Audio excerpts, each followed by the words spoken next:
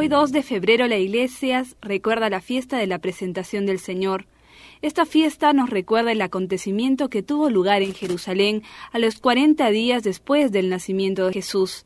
Hoy 2 de febrero se cumplen exactamente 40 días desde el 25 de diciembre.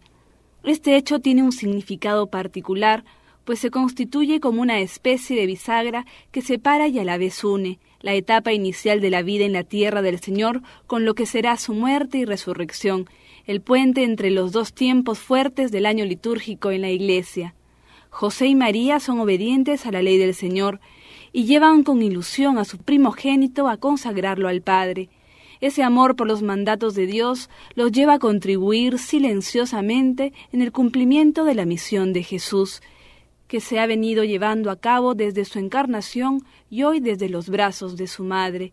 El Espíritu habla por la boca del anciano Simeón sobre la misión del niño que José y María llevan al templo. Este niño está puesto para caída y elevación de muchos en Israel, y para ser señal de contradicción, a fin de que queden al descubierto las intenciones de muchos corazones. Asimismo dice a nuestra Madre, A ti una espada te atravesará el corazón. Misterio de alegría, dolor, acaban de terminar de escucharse los alegres cantos de Belén y ya se perfila en el horizonte la cruz del Gólgota.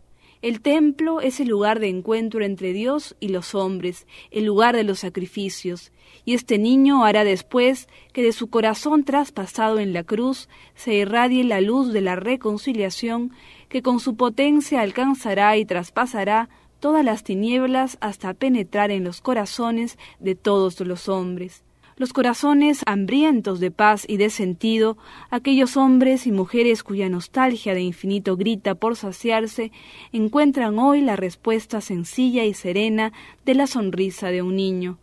Los ojos del anciano Simeón y de Ana han sido capaces de ver en aquel pequeño la respuesta que tanto andaban buscando. Nosotros tenemos que llegar a decir con el anciano Ahora, Señor, puedes dejar a tu siervo irse en paz, porque mis ojos han visto a tu Salvador.